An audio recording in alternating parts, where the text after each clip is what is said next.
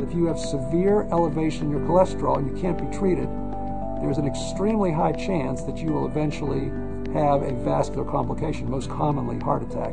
And our objective is to make sure you never get that. But There is always hope for patients with very high cholesterol levels, regardless of whether it's improving the diet, improving the medications, using medications in combination, being sensitive to the patient's underlying medical condition aside from their cholesterol and making certain adjustments based upon that, or in those cases where everything else has been exhausted, LDL apheresis is there for those who still can't get the goal.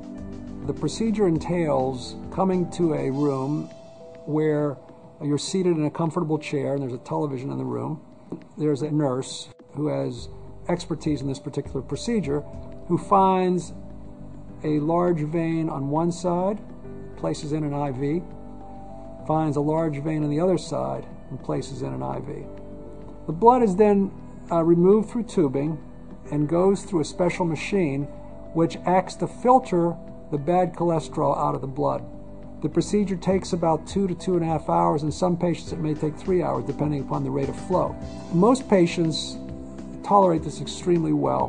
The LDL apheresis program is a program that's meant for patients who basically have no other options for treatment for lowering their cholesterol levels. Either those who have very high cholesterol levels, which are so high that medications are not effective in getting it down significantly, or those patients who have suffered uh, side effects from medications such that medications cannot be administered effectively or safely.